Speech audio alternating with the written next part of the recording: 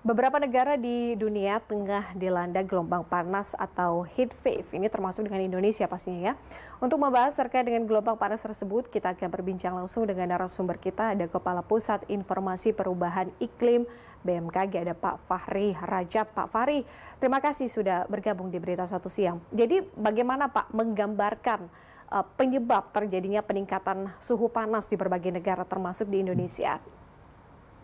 Iya, jadi memang uh, peningkatan suhu yang terjadi secara global ini memang uh, nyata adanya ya. Jadi uh, suhu rata-rata bumi terus meningkat, uh, terjadi hampir di seluruh uh, dunia, termasuk di Indonesia juga, gitu ya. Uh, contoh untuk hari ini saja ya, hari ini pengamatan 24 jam terakhir di BMKG suhu tertinggi itu tercatat di Putus Ibau itu 35,6 derajat Celcius kemudian di Deli Serdang 35,4 derajat Celcius dan di uh, Tanjung Selor itu 35,1 derajat Celcius.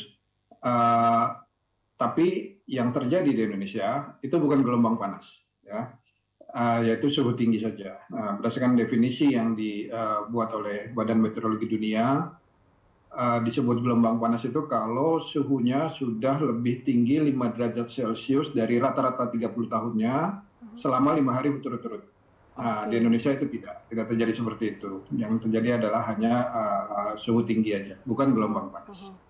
Uh -huh. Oke, okay. uh, suhu tinggi ya Pak ya, jadi sebutnya ya, bukan gelombang panas ya? Ya. Yeah.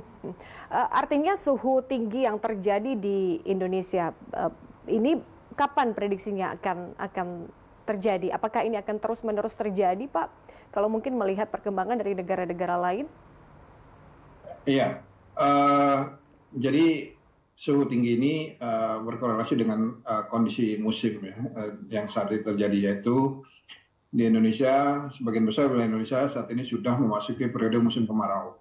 Di mana uh, tutupan awan di atmosfer kita itu semakin berkurang sehingga uh, radiasi uh, dari matahari itu uh, langsung masuk ke uh, permukaan bumi di wilayah kita gitu ya. Sehingga suhu juga makin terus uh, meningkat.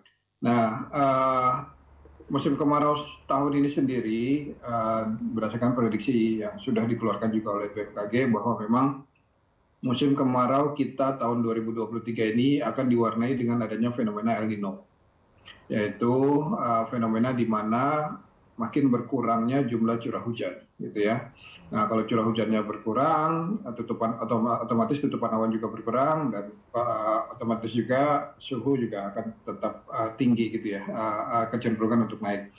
Nah, uh, kondisi musim kemarau di Indonesia diperkirakan masih akan berlangsung sampai dengan uh, bulan Oktober November nanti. Nah, diharapkan di bulan Oktober November wilayah Indonesia sudah mulai memasuki musim penghujan. Sehingga uh, tutupan awan juga semakin banyak sehingga uh, suhu juga uh, semakin uh, menurun ya tidak hmm. tidak tidak setinggi sekarang gitu ya. Hmm.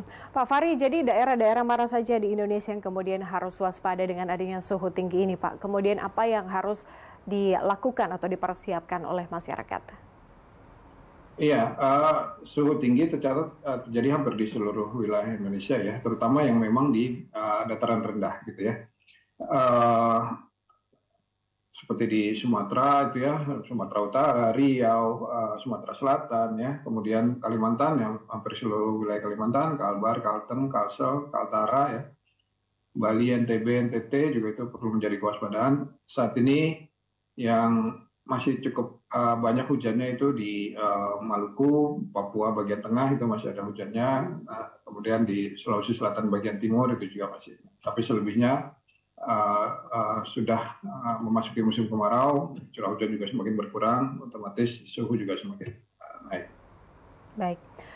Bapak Fahri Rajab, Kepala Pusat Informasi Perubahan Iklim BMKG. Terima kasih Pak Fahri untuk informasinya di Berita Satu Siang. Kita berjumpa di lain kesempatan. Selamat siang.